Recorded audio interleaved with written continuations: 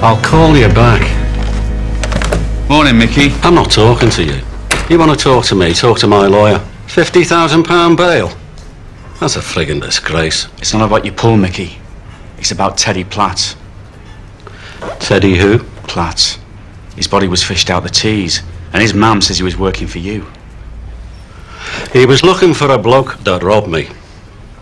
No crime in that. Well, maybe this bloke saw him coming. Who was he? Name of Moxie. And he was working for those people that pulled that bridge down in Middlesbrough. First name? Never had one. Just Moxie.